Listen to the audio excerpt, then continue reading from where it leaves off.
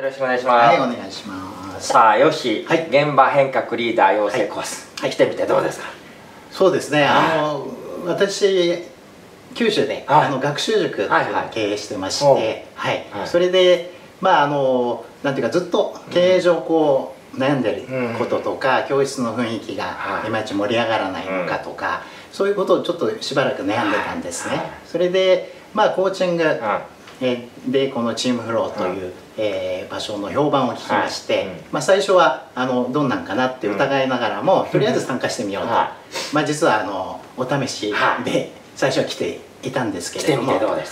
そうですね。あの思いのほか、やっぱり自分にも変化が起こりましたし、僕の経営してるこの塾でも、はい。その持って帰ってすぐねそのままあのその手法を使ったりとか、例えば先生たちの話をこれまで聞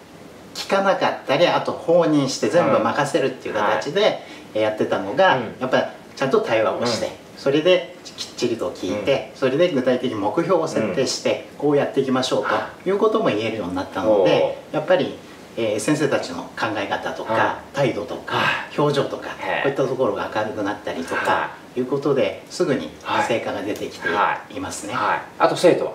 そそうですね。当然その先生たちがやっぱり明るくなったりとか、あのいい感じになると、生徒たちももう本当に不思議なくらい、あの明るくなったりとか、いい雰囲気に本当になってくれてそれがまた父兄の方保護者の方にもこう伝播をしてで評判を生んだりとかあのそういうことになってますので、まあ、経営上もね非常にこう安定してきて、えー、いいですね、あの生徒も増えてあ増えたんですね。そうですね。あの増えてくれて、まあ、逆にそろそろねあの定員にかけなければっていうところまで来るぐらいやっぱりあの効果が出ているかなっていうふうに思ってます。ヨッシーの場合は2日目終わってからすごい大量行動されたってちょっと聞いたんですけど、はい、そうですね、はい、まあ、これはその僕自身もなんかコーチングをやってみようかなというところもあったんですが、うんはい、職場でやはりあの学習塾ってっていう環境があって、うん。はい、実は学習塾って勉強を教えるところっていうイメージがあるんですけども、実はあのこれコーチングもかなり重要というか、本当はやらなければいけないっていうところに僕自身が気づきまして、それでちょっとこうね大量行動って言ってあの自分の仕事をそのまま あの利用して、まあ、少しあのずるいといえばずるいんですけど あの全ての生徒ですとか先生とかあと僕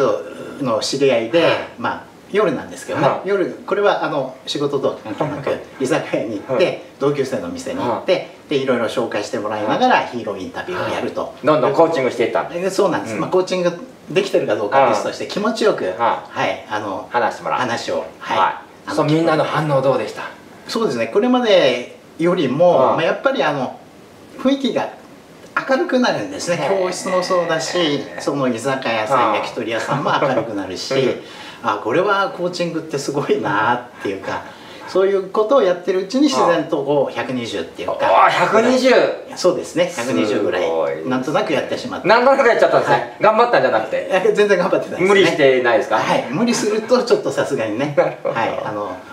難しいと思いますので、はい、そうか。そして今後の抱負とか、はいこれからどうしていきたいとありますか？そうですね。あの今後はやはりあの